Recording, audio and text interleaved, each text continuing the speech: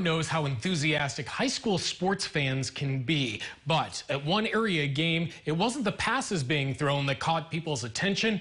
It was the fists. This fight broke out in the stands of the MacArthur Eisenhower football game in Decatur. As a result, six students were expelled, the result of the district's zero tolerance policy on violence. But the school board's decision caught the attention of Reverend Jesse Jackson of the Rainbow Push Coalition in Chicago. Jackson said the students received an overly harsh punishment because they were black, setting off a storm of protests and Jackson's arrest.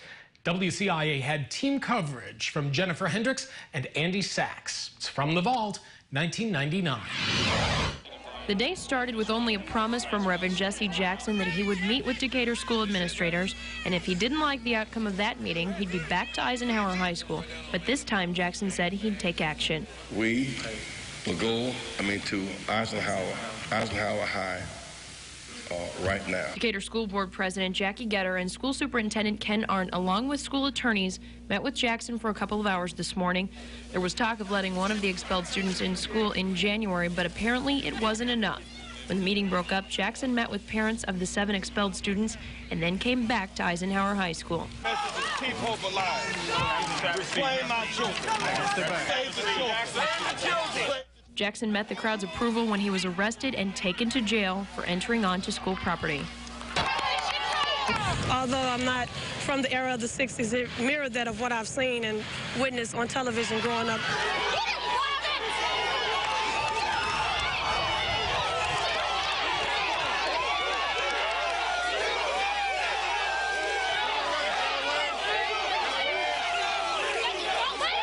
A van carrying Reverend Jackson pulled into the back of the jail.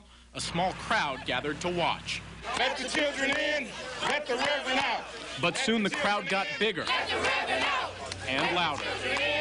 Let the Reverend out. We want the kids back to school, all of them. The penalty is too severe for the situation, I think. You know, it's nothing but a fight. A fight that's now closed down another street and created another rally. I think that Reverend Jackson is prepared to go the distance on this issue. Uh, it's much bigger than the seven children here. At this very moment, it's as big as 200 protesters. And it's big enough that Decatur police shut everyone out of the building. Can, can, I have one moment with you? Including Jackson's closest advisors.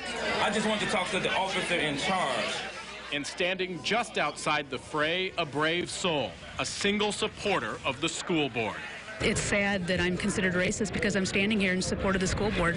I'm not. I'm the farthest thing from a racist, but this has just become an issue of race. Race got a whole bunch to do with it. But black or white, one thing's assured. As long as the students are out of school, there will be more impromptu rallies as part of this massive, organized effort to get seven Decatur students back into the classroom.